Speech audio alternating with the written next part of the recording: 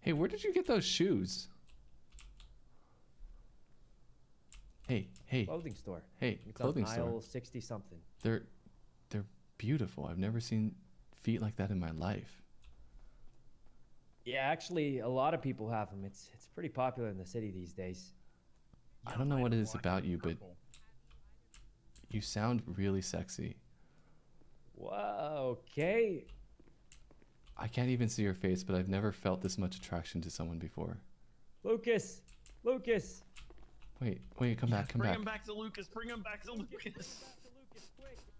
Wait, Lucas is wait, come back. Where are you going? Hey, hey, hey, hey.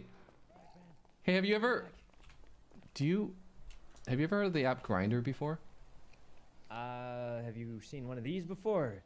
What is this? Whoa, whoa, whoa, what is that? What is that? Don't let me do it, man. Is that a is that a is that a sex toy?